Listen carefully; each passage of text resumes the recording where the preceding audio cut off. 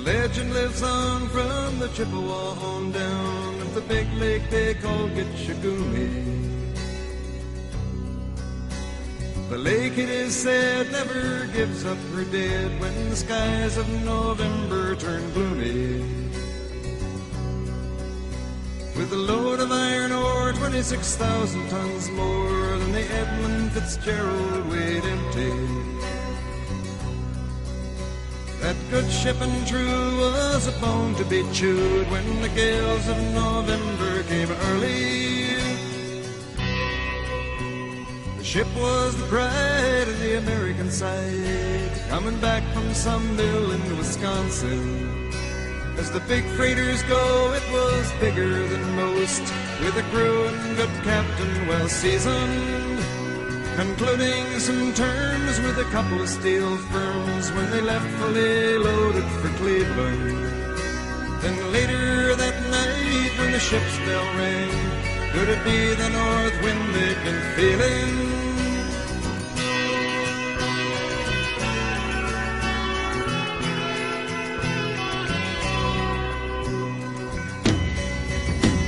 The wind in the wires made a tattletale sound, and the wave broke over the railing.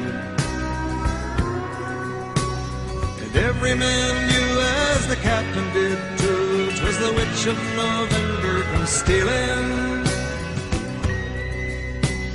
The dawn came late and the breakfast had to wait when the gales of November came slashing.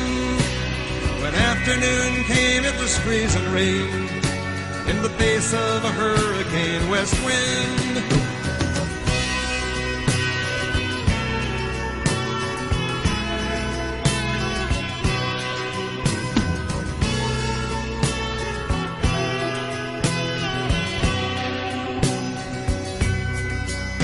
When supper time came, the old cook came on deck saying, Fellas, it's too rough to feed you. At 7 p.m., a main hatchway caved in. He said, Fellas, it's been good to know you. The captain wired in, he had water coming in, and the good ship and crew was in peril. Later that night, when his lights went out of sight, came the wreck of the Edmund Fitzgerald.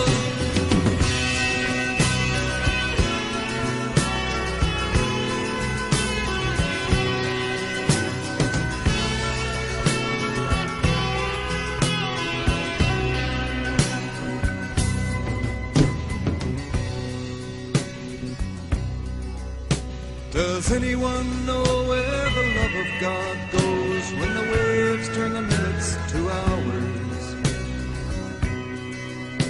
The searchers all say they'd have made Whitefish Bay if they'd put 15 more miles behind her. They might have split up or they might have capsized. They may have broke deep and took water.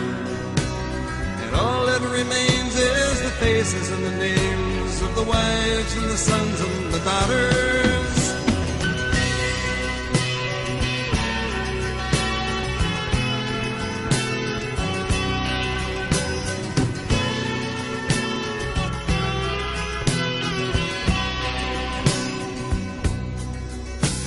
Lake Huron rolls, Superior sings in the rooms of her ice water mansion.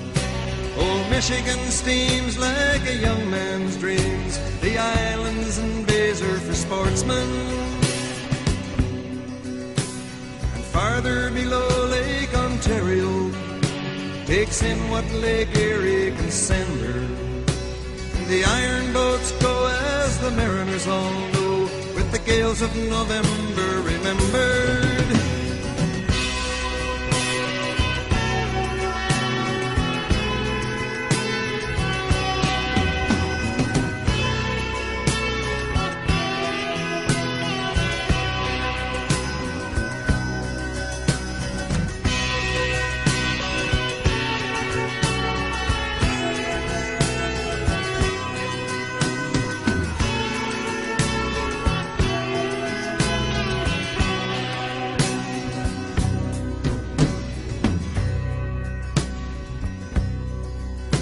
In a musty old hall in Detroit, they prayed in the Maritime Sailors Cathedral. The church bell chimed till it rang 29 times for each man on the Edmund Fitzgerald. The legend lives on from the Chippewa on down of the big lake they call Gitche Gumee. Superior, they said, never gives up her dead when the gales of November come early